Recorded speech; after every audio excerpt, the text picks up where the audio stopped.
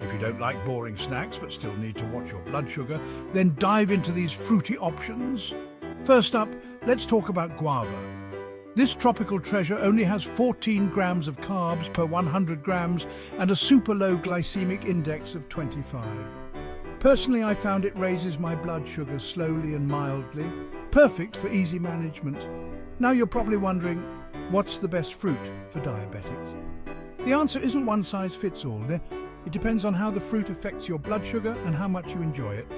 Any fruit that has a minimal impact on glucose levels and is delicious to you is a winner. But if I had to pick a champion, it's got to be the avocado. Avocados are packed with healthy fats, fibre and they barely budge your blood sugar. Plus, they're super versatile, from salads to smoothies.